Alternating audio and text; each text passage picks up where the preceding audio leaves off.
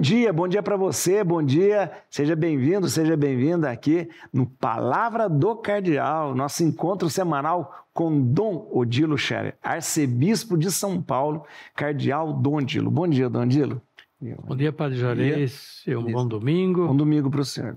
E a vocês também que nos acompanham aqui na Rede Vida, bom domingo para vocês. E agora também um bom programa.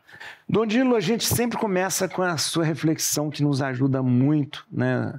Sua reflexão sobre o Evangelho. O Evangelho de hoje, aliás, nós estamos vivendo o 15 domingo do tempo comum. O Evangelho hoje é Marcos, capítulo 6, versículos 7 a 13. É, o envio começou a enviá-los. Né? É, é, este Evangelho de São Marcos nos traz um primeiro envio, eh, lá pelo capítulo 6 né, do Evangelho de São Marcos, um primeiro envio dos apóstolos em missão. Depois temos o segundo e definitivo envio no capítulo 16. Isso. Antes de Jesus subir ao céu, novamente envia, de modo definitivo. Se vê que Jesus chama os apóstolos e os prepara para os enviar, não para ficarem. Simplesmente é. parados, né? É interessante isso. A característica do cristianismo é a missão. Ao longo do tempo, talvez, a igreja ficou meio parada e esqueceu essa dimensão missionária. Nós ficamos muito administrando, como se tudo já tivesse sido é, feito. Verdade. Eu lembro que nos anos 90, fim dos anos 80, quando é, se celebravam, se lembravam os 500 anos do início da evangelização na América, no Brasil, havia essa discussão se ainda é tempo de missão. O tempo da missão já passou, agora o tempo é outro.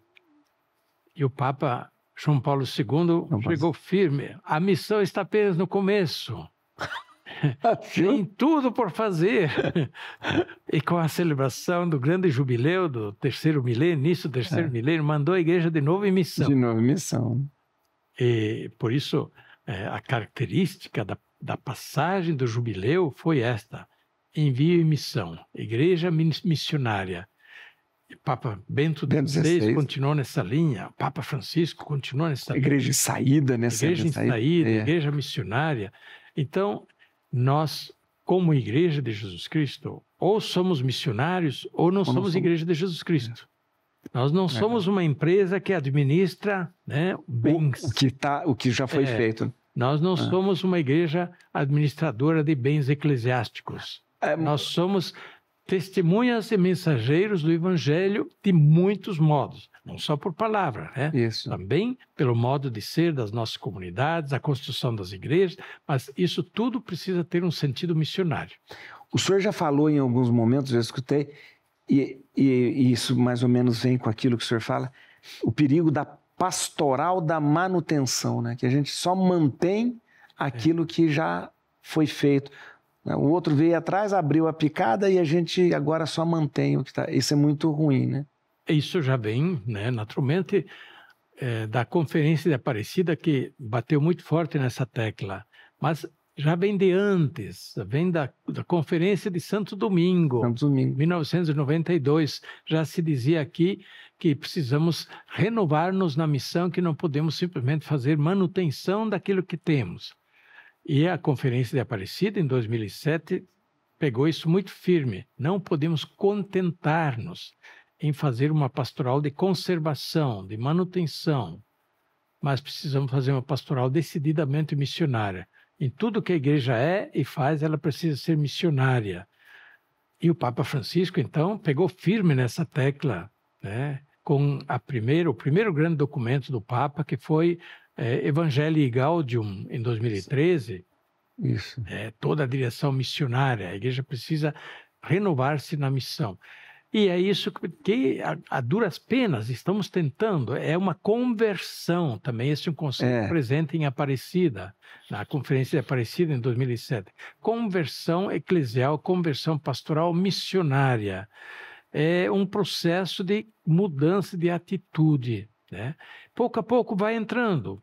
Pode demorar mais tempo, mas não podemos esquecer exatamente isso. Esse ide de Jesus. Ide.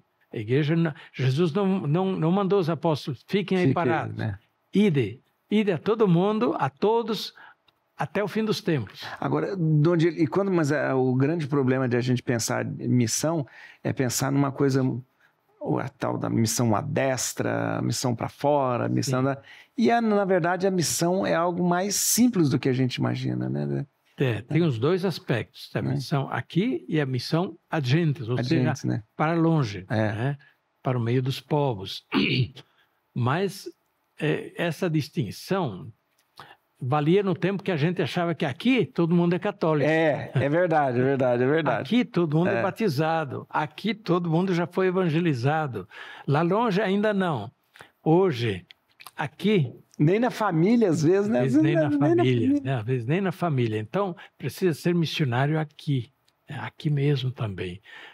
Toda nossa cidade, todas as nossas cidades são também terra de missão. Isso. E depois, ser missionários não é simplesmente, quem sabe, fazer que iniciativas, precisam ser feitas iniciativas missionárias grandes, extraordinárias, mas a ser missionário é a preocupação começa em casa, com os pais que têm a preocupação de transmitir o beabá a catequese. Da fé, da religiosidade, aprender as crianças a fazer o sinal da cruz, é. a fazer as primeiras orações, a levar os filhos a batizar na igreja, é. a levar os filhos a participar da igreja pouco a pouco. Isso é a missão dos pais, o trabalho missionário dos pais. Também essa de se preocupar com os outros, se preocupar em levar a riqueza da fé aos outros, que não vai fazer mal para ninguém. Nós não vamos impor, mas oferecer, propor a boa nova que alega, que liberta, que dá um sentido à vida.